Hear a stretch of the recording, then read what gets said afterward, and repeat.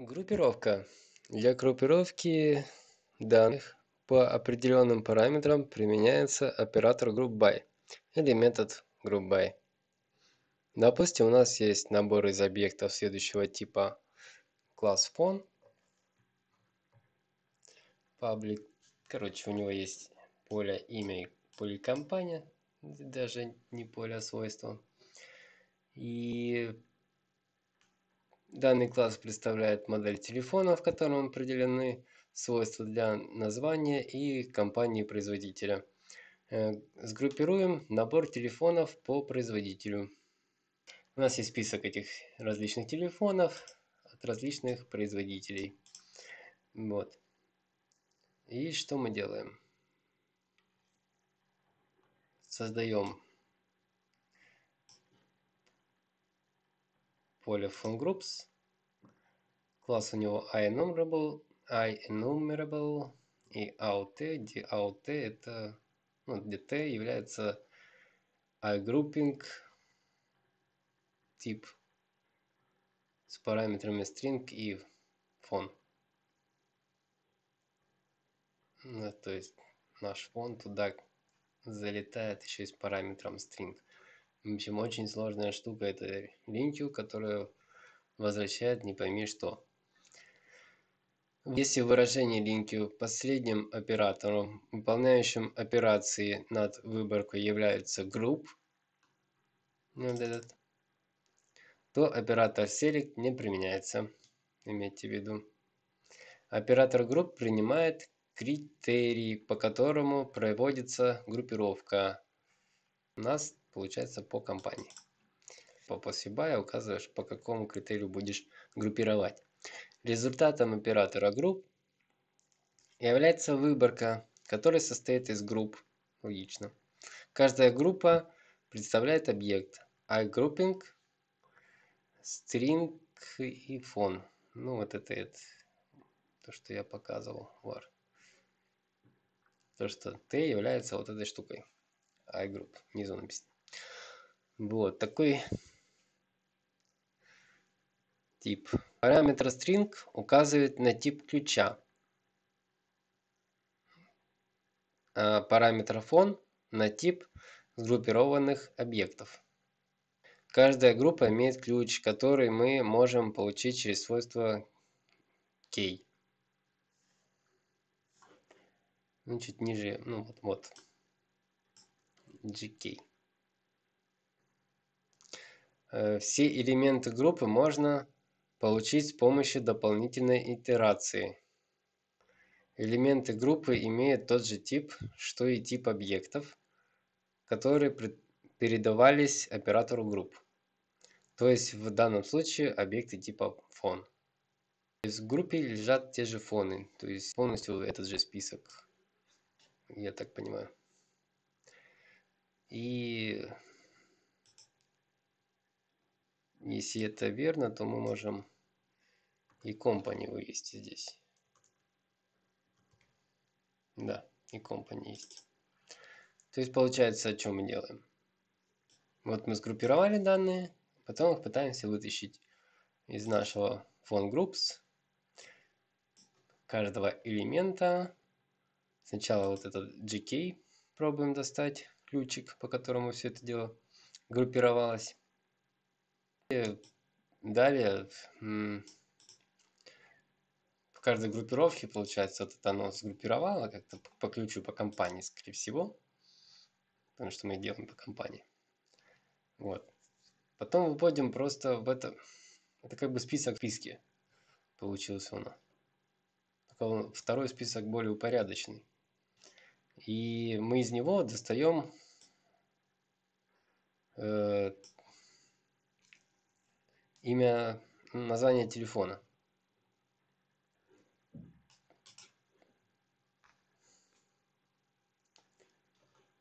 Вот.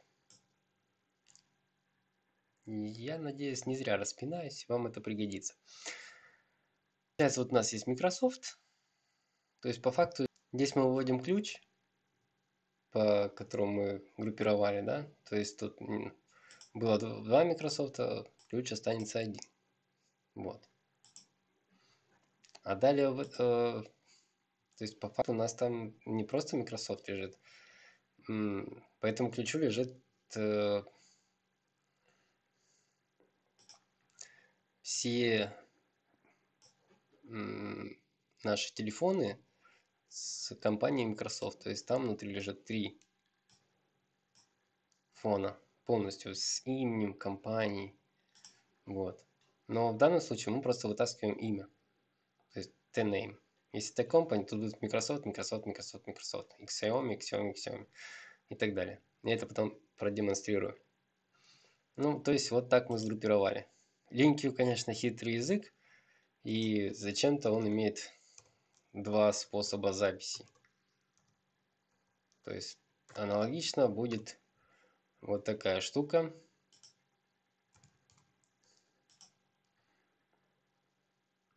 То есть, сейчас остановлю. То есть получается var фон groups 2, это из фона всех берем, группируем по компании. Все. Так как-то читается проще на самом деле. Ну и цикл тот же самый остается. Запускаем. Получаем тот же результат. С этим разобрались.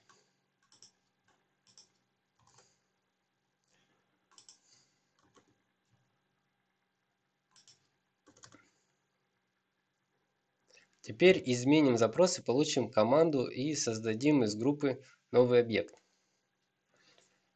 То есть выражение group phone by phone company into g определяет переменную g, которая будет содержать группу. Логично. С помощью этой переменной мы можем затем создать новый объект анонимного типа. И вот где мы select new name gk count равно gcount, Создаем анонимный тип. Ну, объект анонимного типа. Теперь результат запроса link будет представлять набор объектов таких анонимных типов, у которых два свойства name и count. Так как ну, GK из предыдущего примера мы выяснили, что это название компании, а gcount просто почитает как я уже сказал, что в компании тут будет по три строчки полностью фон неймов. Ну, ну, короче, у Microsoft. Вот раз, два, три. И она вот эти штуки просто как бы объекты себе посчитает. И выведет на консоль. Ну, чтобы убедиться. У нас Microsoft 3 телефона, Xiaomi 1, LG 2, Apple 2. Далее есть аналог этой команды.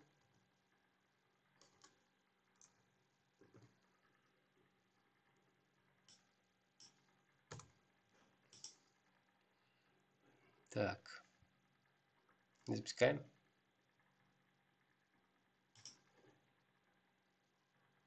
Тот же самый результат 3.1.2.2. Получается, из телефонов группируем по компании выбираем в, в грубо говоря, переменную g э, из этой группировки имя и количество. Это мы комментируем.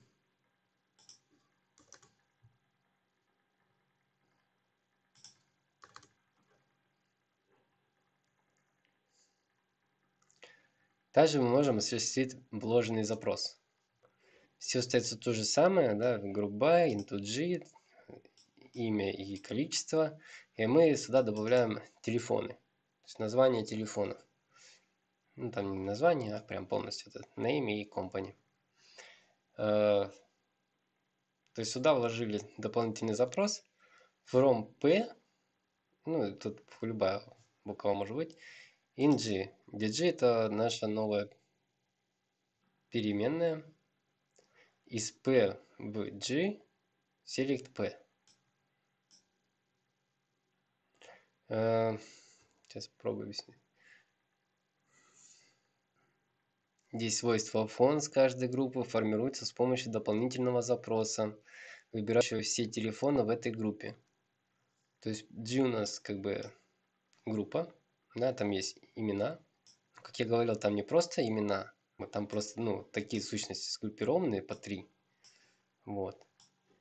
И мы, получается, вот эти они сгруппировались, как бы, но там сидят все вместе. То есть G это такое абстракция, не знаю, называйте, как хотите. В ней сидит вот эти три телефона. И мы можем эти три телефона записать в нашу еще одну переменную, грубо говоря. Да, она, скорее всего, будет типа фонс. Тут может подсвечивать. Видите, вот фон. Тип фон. То есть мы сюда типа создали еще три, ну, по Microsoft 3, а по другим другие, три телефона. Вот. И дальше мы пытаемся это вывести. То есть так же самое мы сначала по группировке пробегаемся, выводим название и количество, и потом вызываем, пробегаемся по телефонам, которые в этой G у нас новые переменные засели. Ну и также выводим имя и на всякий случай компанию, чтобы убедиться в том, что то, что надо показывать. То есть в Microsoft у нас три телефона. Xiaomi 1, ну и так далее. То есть у нас получается, что G это вот этот наш iGrouping, да? и в нем сидит куча телефонов сгруппированных. То есть в каждом G по несколько группированных телефонов. И то есть фонд, по сути, у нас, наверное, скорее всего, даже... Да, это, видите, это как бы список enumerable, enumerable фон. То есть в нем не один телефон сидит в этой переменной фонс, а несколько. Ну, он на твой фонс, а не фон. Вот. И их мы тоже можем выводить через for each на консольку. Ну и, соответственно, у этой штуки тоже есть второй способ. Ладно.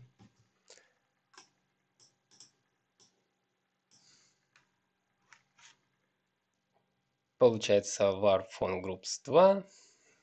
Fonts группируем ну, все то же самое по компании. И выбираем select равно new. Тут тоже это остается как в предыдущем варианте name account, а fonts мы опять делаем select из G уже, уже из G, из группированных данных. Э, ну, все, все вложенные строки получается. P равно P.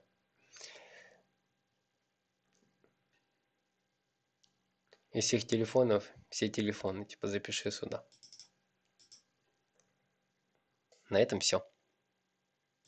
Напоминаю про Telegram